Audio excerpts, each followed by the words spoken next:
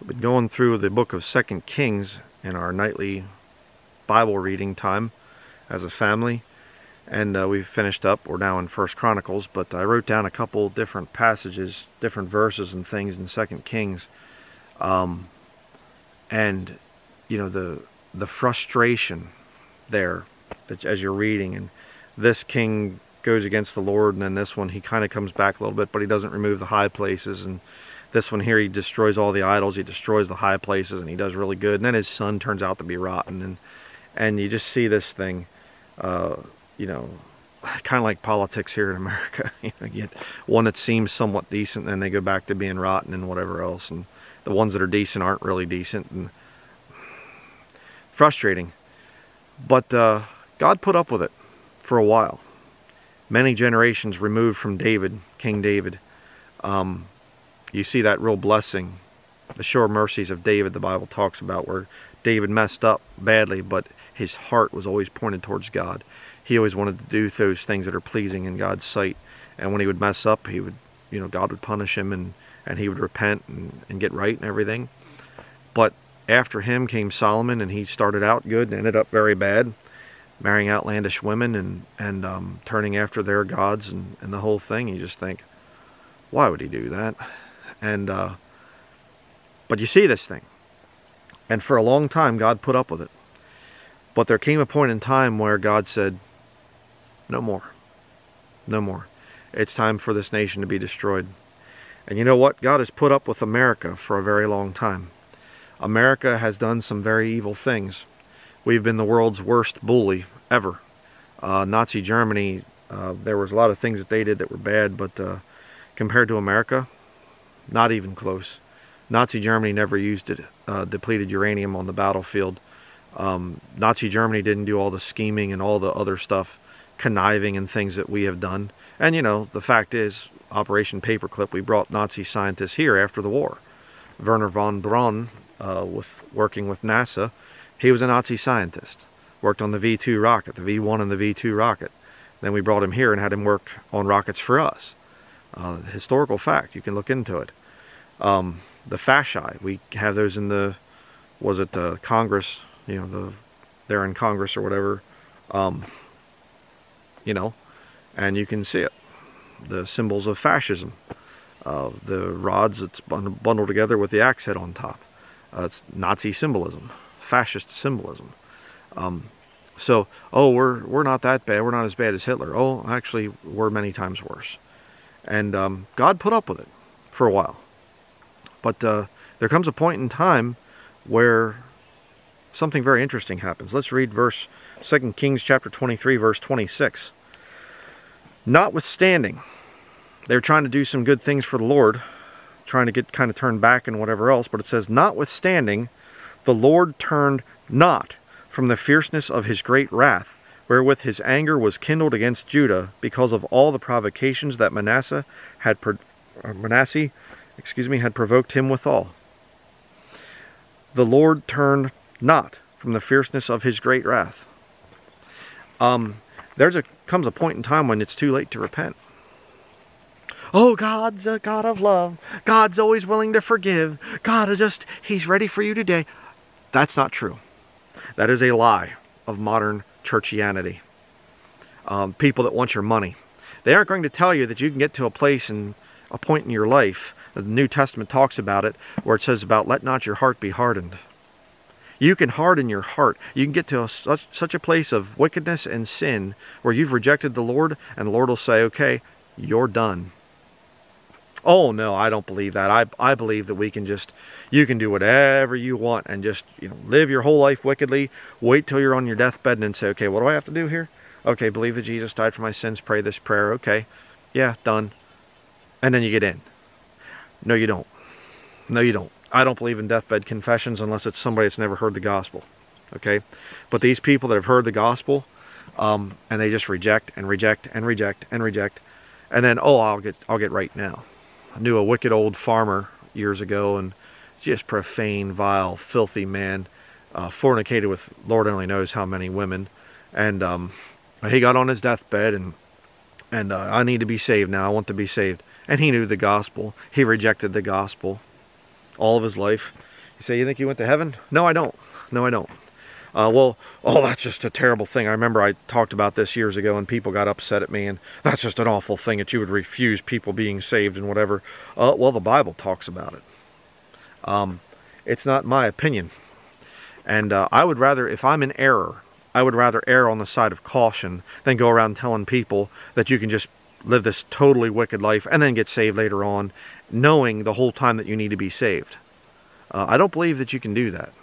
I mean, a Christian has said in the New Testament says that we're not to grieve the Holy Spirit, whereby we are sealed until the day of redemption, or sealed with the Holy Spirit of promise. Excuse me, in Ephesians. Well, if we can grieve the Holy Spirit, what about some lost person that just rejects Jesus Christ over and over again? And the Holy Spirit finally just says, no. And you see, right now, a lot of people are still trying to say this whole thing of America can repent, whatever else. I don't think it can. Not no, excuse me. Let me let me rephrase that. I'm being too weak. America can't repent. America's finished as a nation. There's no way to bring it back. Well, you know, I think that we can, uh, you know, yeah, our dollar's, you know, kind of collapsing right now, and and the economy's really falling apart, and we have 69% of Americans now are living paycheck to paycheck, and you know, we're 1.2 trillion in credit card debt, 1.8 trillion, I think, in student loan debt, um, 1.6, I think, in household debt. Uh, you know, people are spending 40% of their income on their mortgage. Uh, you know, all the different numbers and statistics. I mean, you can see it. I mean, I see people all the time, and they're they're having to put everything on their credit card and all this stuff. People just drowning in debt. But but God's blessing this nation. God's blessings upon it. No, it isn't. No, it isn't. Um, we're uh, sending money, billions of bill and billions of dollars to Ukraine. Oh, we're going to fight. We're going to Ukraine's going to defeat Russia. They're losing. They're losing. Um, numbers from a I've listened to military guys and things like that. There's numbers coming out 300,000 plus dead Ukrainian soldiers. 300,000 plus dead in Ukraine. 60 thousand amputations of those soldiers over there. They're being slaughtered by the Russians. But you see, America and its pride is saying, uh, we're, we're for Ukraine. Let's stand in solidarity with Ukraine. Why? What does it matter? Oh, that's right, because we're trying to set up NATO bases there in Ukraine and things right on the border of Russia, and Russia's just supposed to be okay with that. No, America can't win another war, another World War III. Again, I heard a, a colonel, retired colonel from the Army, I believe, Army colonel, and he said that 30% uh, of young men age 18 to 24, 30% would be available for combat. In other words, that they would be in good enough shape to go to combat. 30% of the young men in this nation would even qualify to be soldiers. Oh, and but we're strong, we're okay, and whatever else. No, we're not. It's too late. It's too late. Oh, I, I think that we could turn back. No, we can't. No, we can't. Um, all that you can do right now as a Christian, brethren, is just try to say, okay, I'm going to try to survive whatever's coming. And understand that right now, this government, and I mean all aspects of it, be it the military, the medical field, the whatever out there, um, they're trying to lower the population numbers. Again, I proved that years ago military website came out and it said by 2025 there's going to be a 75% reduction in the population of America. 75% of people are supposed to be killed within the next year. Oh well, you know, I don't know. It's, it's, it's a conspiracy theory. You can't see it coming. You can't see the stores being looted and robbed. I can see it. Open your eyes up to what's really going on. What happens if the power goes out? What happens if the banking system collapses and everybody's savings is just gone? What happens if we have another 1929 style stock market crash? Hmm? Run on the banks? Oh, that's right. Uh, running on run on the bank. So people come in. I haven't seen that yet. I haven't seen anybody. You know, lines of people trying to get their money out of the bank. What about people moving their 401k money out? putting it in money market accounts and cashing out of this and pulling their money out of that. I heard a thing here the other day. In the last year, there have been over $1 trillion taken out of banks in America. I wonder if that has something to do with the fact that the banks are closing. We've already lost, I think, what is it, six or something banks this year? And now Moody's downgraded the U.S. Treasury Department, I think, and uh, 10 other banks. We can't have a good credit rating and things like this. Destruction's here, you see? And what I'm saying to you is, if you're saved, you need to prepare for that. Prepare mentally. Make sure you're right with God. Make sure that there's no sins that you're holding on to. It's going to get rough. It's going to get very rough. Oh, what uh, there could be some kind of spiritual awakening. If there is a spiritual awakening, there won't be. But if there is, if there would be, notwithstanding, the fierce wrath of God is going to come. And it doesn't matter what people do at this point in time. America has gone too far. We've boarded tens of millions of babies. I mean, you look at the, the whole birth control thing and whatever else, it goes into the hundreds of millions of babies. I mean, birth control, what is it? It's a form of, you know, it's an abortifactant when you take these pills. It kills, you know, the little baby that could be forming there.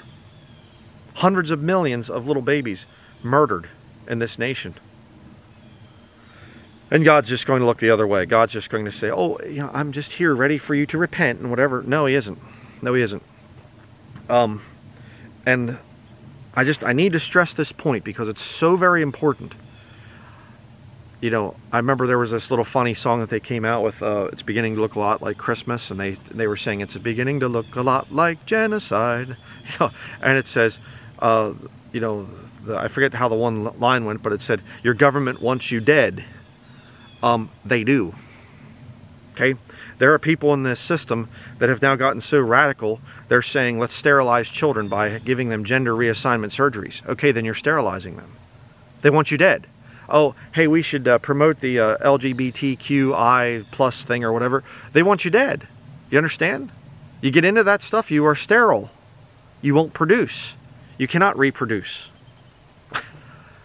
it's right there oh, well, you know, the, the government came out and there's an emergency and we all have to go to this special place to be relocated. Better not get on the bus. Um, hey, you know what? The government just passed a law that uh, we need to confiscate your firearms because there's been too many school shootings and there's too much violence out there, so we need to take away your guns. Uh, no, because you see, every time governments take away guns, all throughout the 20th century, government takes away guns and a big slaughter comes after it. You better not give up your firearms. Oh, well, we don't have a chance going against the military and things. Oh, you have a better chance than you realize if you're well armed. Um, nonsense. I'll be talking about that in another video, but uh, you better not go along because right now there's murderers in this country and God is not going to protect this nation. There's a, we'll, we'll just get a good president in the next time. You know, Biden's rather bad and corrupt and whatever, but we're going to get a good president this next time. I know. The Lord's going to do that for us. No, he isn't. No, he isn't. Well, if we could just get some uh, a big movement going here and another Asbury revival. yeah. Uh, no. No. Um, right now we're in a raft, brethren. And that raft we're going down and the water's starting to go like this and starting to get kind of rough. And you look up ahead and there's white water big rocks sticking up, big sharp jagged rocks sticking up. You just say, well, I'll just kind of go like it. No, you hold on for dear life. And you don't get out of that raft for anything. Right? Um, you better say, okay, Lord, give me wisdom. And I am very serious about this. Give me wisdom how I can stay away from this stuff. Um, there's some kind of a thing declared in your area I mean, obviously, if, it, if all the houses are burning down or something like going on, on down in Hawaii, uh, Maui or whatever it is, uh, yeah, you might want to leave. Uh, that's a situation where you better get out of there. Um, but uh, if it's some other kind of a thing that they say, oh, there's uh, the power is going to be out for a while, well, you better figure out how to survive. Um, because if you go with them to some relocation center, um, you're probably not going to be coming back. Uh, you might get loaded into a nice big building and you know that building gets filled with Zyklon B or something, um, like what happened in Nazi Germany. Uh, you might get put onto a train car and shipped someplace or whatever else. Uh, that's coming, coming soon. Um, don't give up your firearms, okay?